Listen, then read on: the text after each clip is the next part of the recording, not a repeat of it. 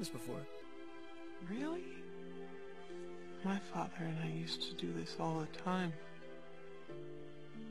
He says all the great kings of the past are up there. Do you think Scar's up there?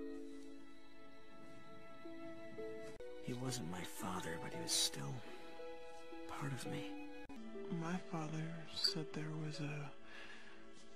a darkness in Scar that he couldn't escape.